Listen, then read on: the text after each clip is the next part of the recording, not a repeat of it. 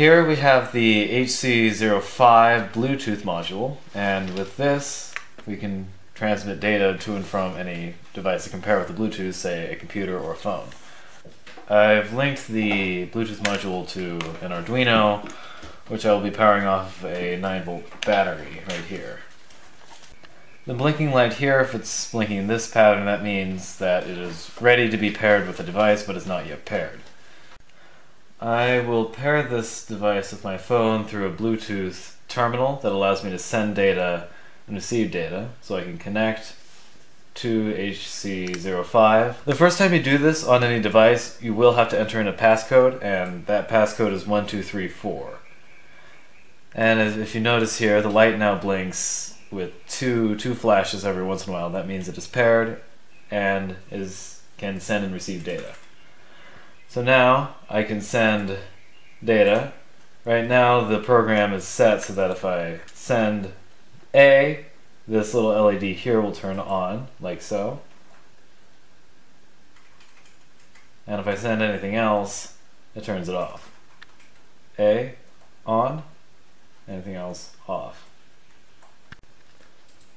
Alright, so now I'm changing the programming on the Arduino so that whenever I send data to whenever I send data to the Arduino via Bluetooth, it will respond with hello world. A thing to note if you're co coding Arduinos, you will have to remove the TX and RX pins from the which are connected to the to the Bluetooth module. Otherwise, the coding fails for unknown reasons. So I will upload this.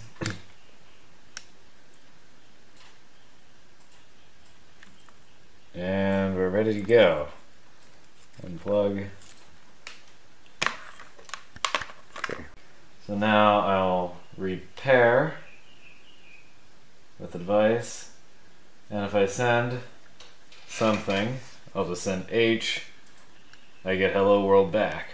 If I send in a stream of stuff, I get hello world a bunch of times. For every time I send a character. I can send numbers. I get a hello world for every character I send. Alright, so with this Bluetooth module we can wirelessly send and receive data from an Arduino or whatever we'll be using.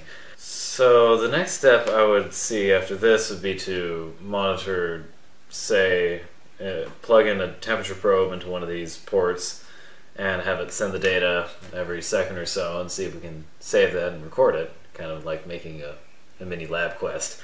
And further in the future, I would see something like music where we have to sample pretty quickly and see if we can reconstruct it on the other end.